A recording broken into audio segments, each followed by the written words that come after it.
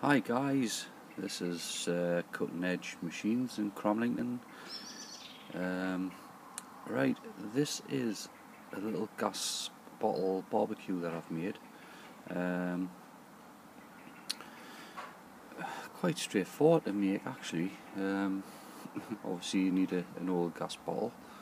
Make sure it's empty um, before you start cutting into it. Um, do this at your own risk but if if you handle them correctly um, you shouldn't have any problems with them. Um, with this one I just used obviously a bit of angle iron for the legs which I've welded on. Um, an old exhaust off a car which I've welded in as you can see just open it up. Inside we have got some more angle iron welded in and a grate on the top of there. And now with this one, I'll show that. With this one, we normally put like a small frying pan in, um, which is great.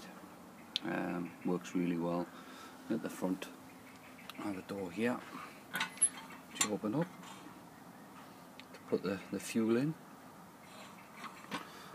Um, it hasn't got a vent on because it really doesn't really need one um, because of all the gaps around your doors and what have you.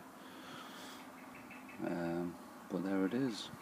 The next project is a chimney which I'll show you in a Hi guys, this is Sean from Cutting Edge Machines, Cramlington.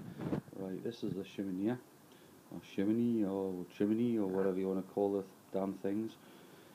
Um, an old gas bottle that I found discarded, um, empty of course, and then I've cut into it, I've marked it out, cut into it, as you can see the two doors at the front, two lower doors at the bottom, the upper doors are going to be for obviously putting the um, the fuel in, um, wood, whatever you want to burn in it.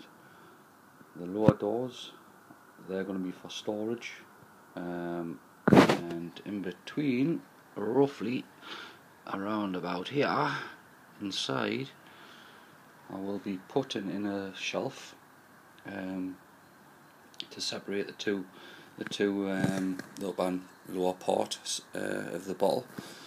And this little section here I was going to put a vent in there um, but we'll see how it goes. I might put it somewhere else.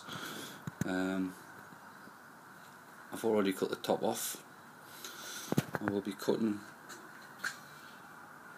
this out where the valve went. I'll be putting a rather large mm, probably van exhaust pipe in there um, as a flue. Uh, I think it should work quite well.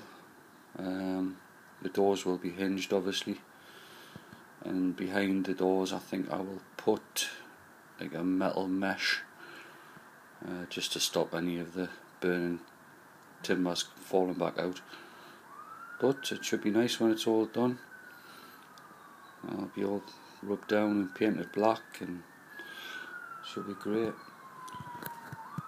Um, I must say this, the valves, great little tool for getting the valves out. I'll show you, I'll just go across here. This thing here, bit of scaffolding, two slots cutting it, bit of pole, welded to the, the scaffolding, works an absolute treat for getting them valves out because them valves are tight. You might see on YouTube people just hitting them with hammers and things like that and chisels. yeah, right. They're in tight and they're in with like a, thread lock as well. So they're very difficult to get out. So there we go. Always remember when you're doing this sort of project, make sure the gas bottle's empty, fill it with water to the top. I just normally leave it a couple of days with water in kick it over, drain the water out, and um, that's pretty much it really. But that's it's up to you how you do it. Okay, this is Cutting Edge. Till the next time, see you later.